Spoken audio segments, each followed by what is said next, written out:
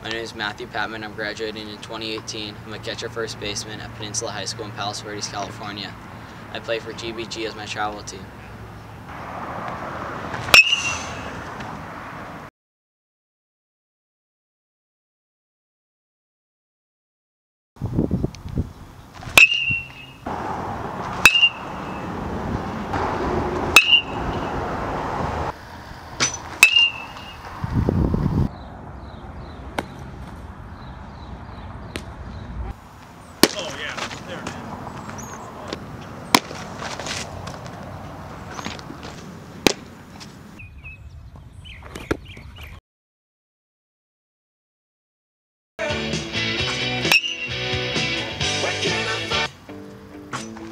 doesn't seem to be a.